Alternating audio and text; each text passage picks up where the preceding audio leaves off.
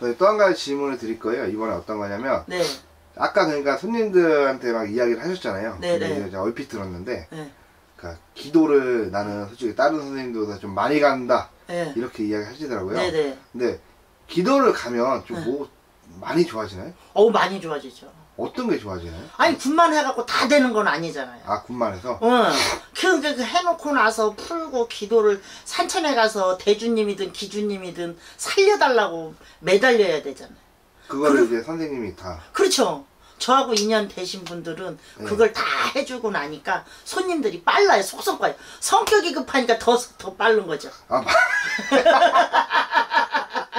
가서 어. 기도를 네. 남들 뭐 예를 들어 다른 선생님들은 아 나 오늘 하루만 갔다 와야지 이렇게 했는데 선생님이 막 3, 4일 동안 막 그거 막 네. 테라 테라 막 어. 이시를 네. 이렇게 하는 거예요. 그러니까 그렇게 되면 왜냐면 뭐 예를 들면 산이 한 곳만 있는 게 아니잖아요. 네. 강원도도 있고 지리산도 있고 계룡산도 있고 뭐 설악산도 있고 다 돌아다니는 제주도 백두산까지 다 가요.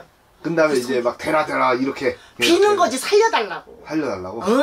아이고 뭐 데라데라가 아니고 살려달라고. 살려달라고? 어, 아무, 저 성씨를 대면서 대주님 살려달라, 기주님 살려달라, 성불 보게 해달라고 그렇게 비는 거죠. 근데 예를 들어서 선생님이 네. 100 아, 이건 좀 이따 제가 음. 할게요. 그건 좀 이따 제가 질문을 또 드릴게요. 응, 원래 좀 저, 즉흥적으로 좀 많이 네. 질문을 드리는 편이라. 응, 일단 그러면 예를 들어서 이제 선생님이 기도를 갔다 오셨어요. 응. 갔다 오고 나서 이제 뭐 하루 잠깐 있다 또 다시 기도 가진 않죠? 가죠. 가요? 그것도? 네.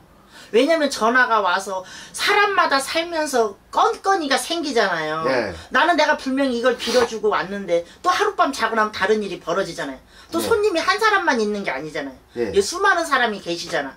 네. 그러니까 다 각자 틀린 요구사항이 있으면 법당에서도 물론 기도를 하지만 나가서도 산천에 그 대주님의 성씨를 가지고 고향을 가면 본주 본산을 많이 들어가 주죠. 아 일부러 선생님 어, 직접 가는 거예요. 아. 예. 그, 그 제가 집에 성부를 보려고 그러면 그 집에 본주 본산을 다 돌아다니면서 빌어주는 거죠. 음. 음, 그러니까 빠르더라고요. 알겠습니다. 그러니까 나만의 그냥 노하우죠, 뭐. 선생님 말이 노하우 예. 알겠습니다